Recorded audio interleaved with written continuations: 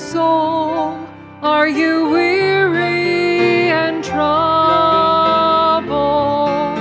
No light in the darkness you see. There's light for a look at the Savior